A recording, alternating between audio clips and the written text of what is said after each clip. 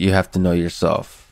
What what's the distribution of energy levels that you have? Like how what makes you lazy? What makes you excited? What makes you motivated? I think that's different from person to person.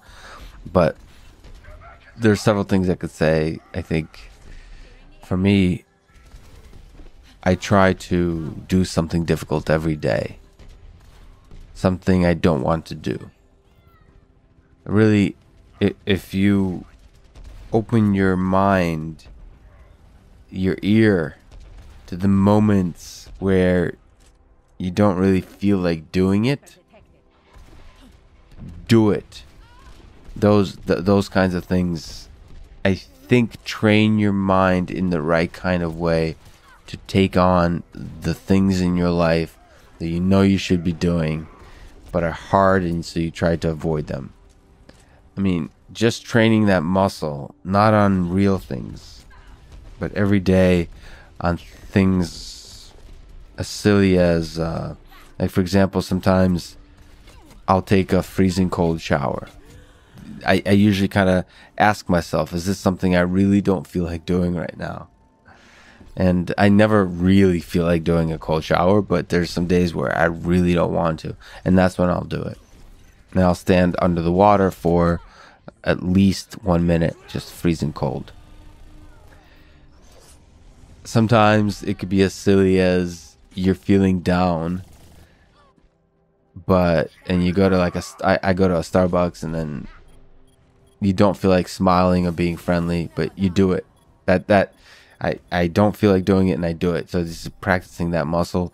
Exercise heck yeah every every single day i don't really especially running i i don't like running that's why i do it i uh i don't especially don't like starting to run.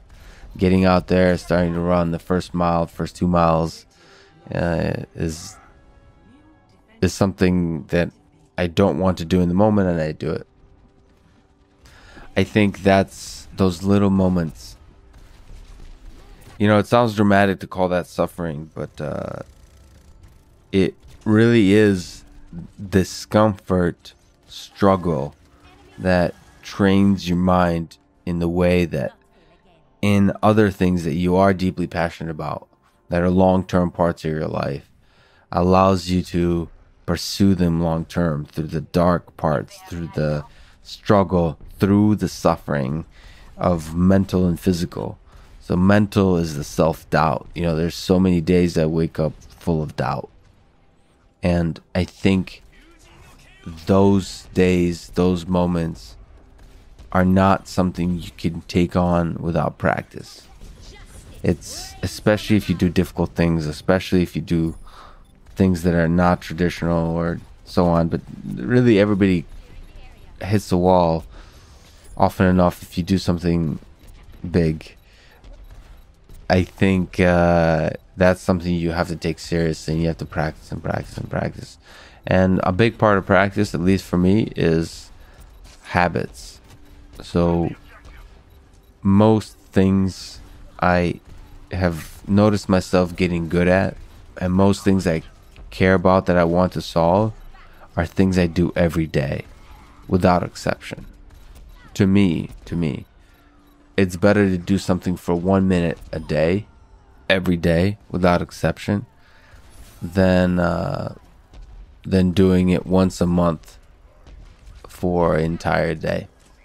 I think there's something about that ritual that multiplies your mind's ability to uh, to really take on the full depths of whatever the task is.